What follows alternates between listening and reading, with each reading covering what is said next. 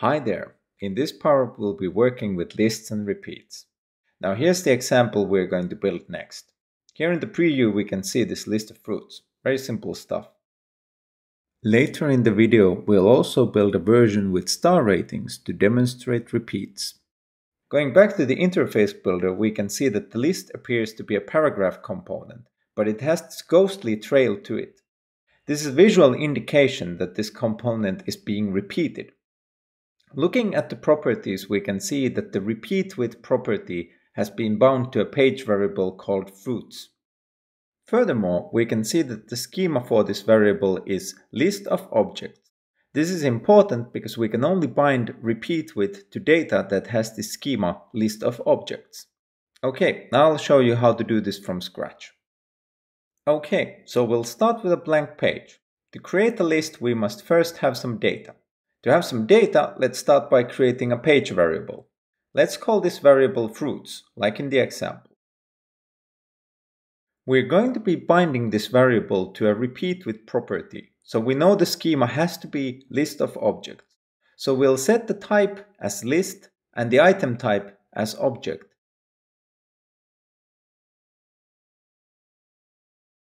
For now we'll just add one property to the object, name. Note that the exact schema of properties does not matter. Here we just happen to have name and ID as the properties. The ID is automatically included in the schema by Composer. It is very useful for identifying items in larger lists, but in this example we'll be fine leaving it empty. And then we'll just input some initial values, banana, orange, and kiwi.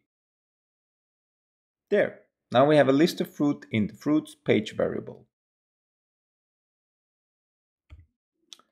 Back in the interface builder, let's use this paragraph component and turn it into a list of fruits. We'll do that by going into the properties of the component and binding the repeat with property to the fruits page variable.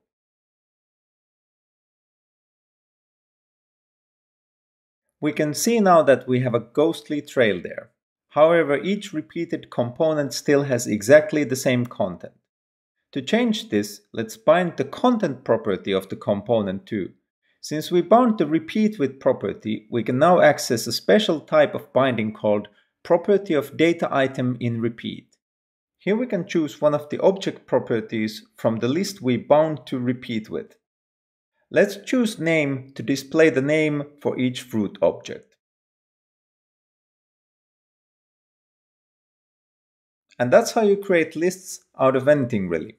Just make sure your data is in the required schema of list of objects. Now there's another slightly different case for repeat, which is when you don't have a list of items, but you'd simply want to repeat a component for some number of times. For example, let's say our fruits would have star ratings. In this case, we would want to repeat the stars based on the ratings as numbers. So let's go back to the fruits page variable and create a new property in the object called stars.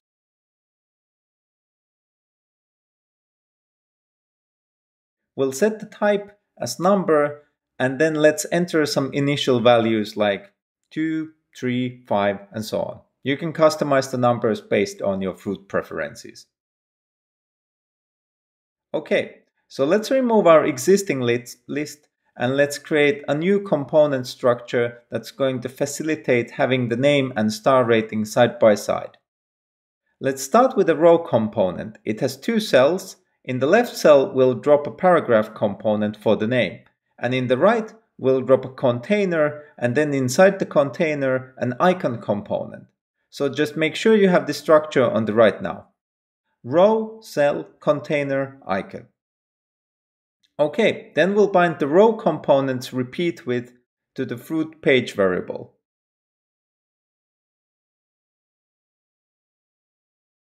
Then for the name, we'll be able to bind the paragraph content to the name property. With the star rating, we want to have the icon repeat for each star count. However, we can only repeat list of objects type schemas and our star rating is only a number. To resolve this, let's bind the icon components repeat with to a formula.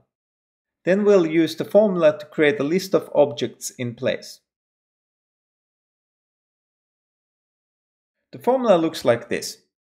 Repeat, first argument, empty object, second argument, current stars.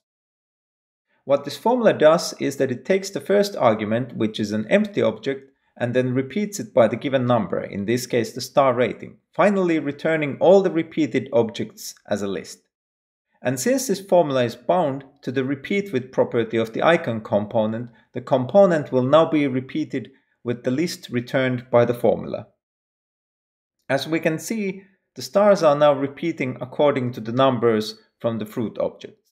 However, instead of lining up horizontally, they are stacking vertically. Here is where the container we put into that cell comes in. Let's use the tree view to make sure we are selecting the container and let's go into the style tab and set the container layout to horizontal and let's also make sure to justify content to the left. Now we have our star ratings displayed as star counts lining up horizontally. I hope you enjoyed this power up and let's meet again soon.